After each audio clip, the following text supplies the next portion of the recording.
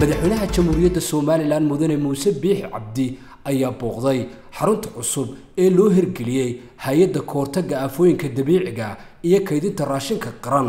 Waxaanu madaxweynaha jamhuuriyadda somalilan xadhigga ka jaray laba dhisme oo qalabaysan oo xaruntani ay ku howlgeli doonto.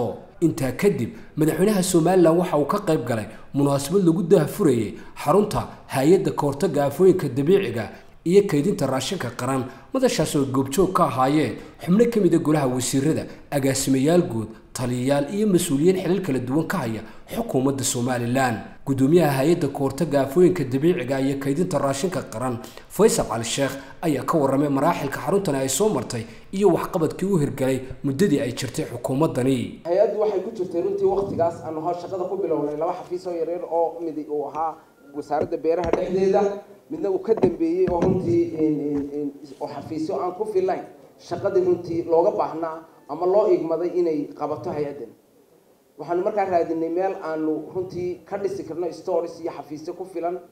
Alxamdulilah madaxweynaha iyo wasaaradda howlaha guudba gacan buuxda bay runtii iyo wasaaradda cadaaladda oo markii hore halkan lahayd.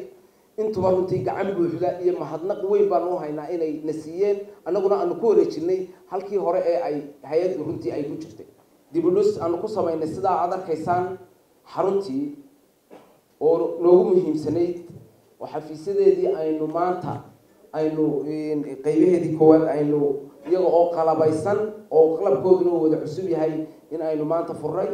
Sidoo kale waxaynu furray bakhaarkii weynaa oo runtii aada u ballaadhan koob iyo soddon mitir iyo badh dhinac dhinacna labaatan mitir dushana sideed mitir. Waxaanu qaybinay muddadaa imika aanu xilka haynay shan iyo toddobaatan kun oo qoys oo hay'addu ay gacanteeda ku qaybisay oo loo qaybiyey gobollada oo dhan dhibaatooyinkii ka dhacay. Ha noqoto abaaro ha noqoto duufaantii sagar ha noqoto daadad iyo daba baahay mararka qaar. Wasiirka deegaanka ee horumarinta reer miyiga marwe shubri xaaji ismaaciil baandare iyo agaasimaha guud ee wasaaradda howlaha guud cilmi cabdiraxmaan cashuur ayaa tilmaamay sidan faysal iyo tiimkiisaba waxaan ku ammaanayaa shaqada fiican aa haysaan. Maanta waxaan dowladda somalilan aan runtii ku ammaanayaa. Waxa weeyaan dowladdii hore iyo dowladdanba masaa'ilkiina soo maray iyo mashaakilkiina soo maray. Waxaynu kow ka ahayn ka dowlad ahaan dadkii u kacay shicibkeenu. Runtii baraarujiyey intaynu shicibkana baraarujinay dowlad ahaanna u kacnay si wanaagsan wax looga qabtay. Mudane madaxweyne dhismahan iyo dhismayaashan maanta aynu furnay. Aada hadda aada furtay waxay ka mid yihiin dhismayaasha ay xukuumaddu fulisay ee ku jira miisaaniyadda qaranka. Jamhuuriyadda somalilan mudane madaxweyne wasaaradda howlaha guud dulkiiyo guriyeedku waxay u qaabilsan tahay xukuumadda ilaalinta tayada dhismayaasha madaxweynaha somalilan mudane muuse biixi cabdi ayaa mas'uuliyiinta hay'adda kahortagga aafooyinka dabiiciga ku bogaadiyey dadaalada ay la yimaadeen iyo waxyaabaha ay bulshada u qabteen. Hay'addan waxaynu u abuuray laba qodob waa in loo diyaar garooba sanadka abaaraha ka barwaaqada waa in wax la kaydsadaa markaad dan tahay.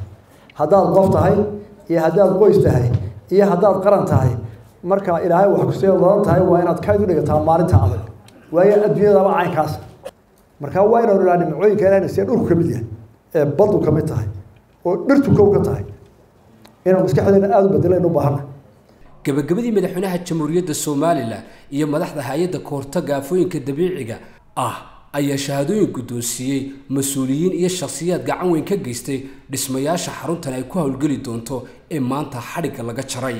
Geesta kale madaxweynaha jamhuuriyadda somalilan waxa uu xadhigga ka jaray dhismo bilicsan oo loo hirgeliyey guddida qandaraasyada qaranka ee jamhuuriyadda somalilan taasoo ay ku howlgeli doonaan.